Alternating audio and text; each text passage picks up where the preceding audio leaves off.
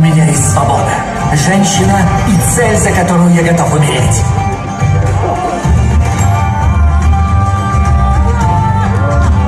Я двигаюсь как бог и выгляжу как бог.